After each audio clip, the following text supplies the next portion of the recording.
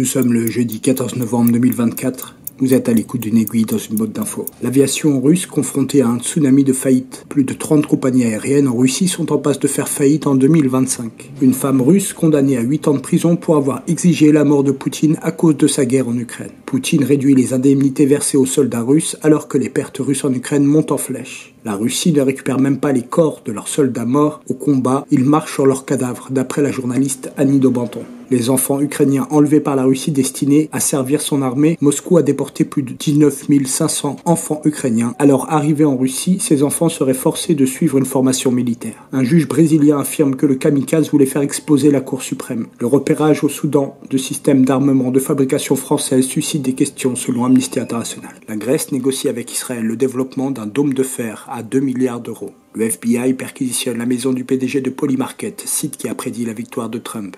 Trump choisit son équipe en fonction de ses liens personnels et des talents télévisuels. Ce Guardian craint que toute ligne de démarcation entre Fox News et le gouvernement américain soit sur le point de disparaître. Le cerveau d'un projet d'attentat à la bombe à Hong Kong condamné à près de 24 ans de prison. Le FBI a découvert une importante opération de cyberespionnage chinoise visant les réseaux de télécommunications américains. Sciences Po Paris porte plainte après la découverte de deux caméras espions dans ses toilettes. Un danger pour la démocratie. Des bureaux bruxellois perquisitionnés dans le cadre d'un scandale d'espionnage italien. Des données privées de hauts responsables politiques ont été volées à grande échelle. Elles auraient ensuite été vendues à des services de renseignement étrangers, notamment au Mossad. C'était une aiguille dans une botte d'infos et je vous dis à bientôt.